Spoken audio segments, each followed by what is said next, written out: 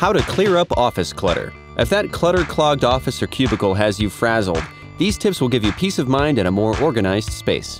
You will need wire paper trays, three ring binders, file folders, a shredder, a recycle bin, a closet or dress screen, a multi-surface cleaner, and paper towels. Step 1.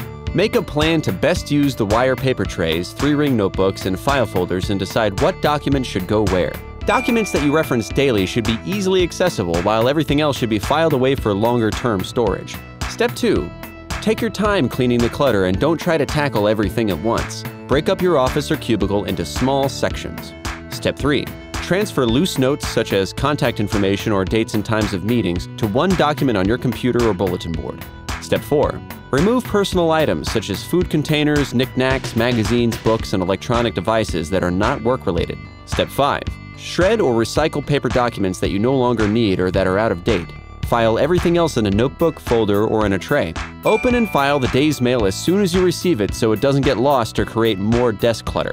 Step 6. Use a closet or dress screen to hide messy bookshelves, file cabinets, and reference materials that are used only occasionally. Step 7. Clean and wipe away dust and crumbs with a simple multi-surface cleaner and paper towels. Did you know? The President's Oval Office was not constructed until the Taft administration in 1909, and today's Oval Office was added by Franklin D. Roosevelt in 1934.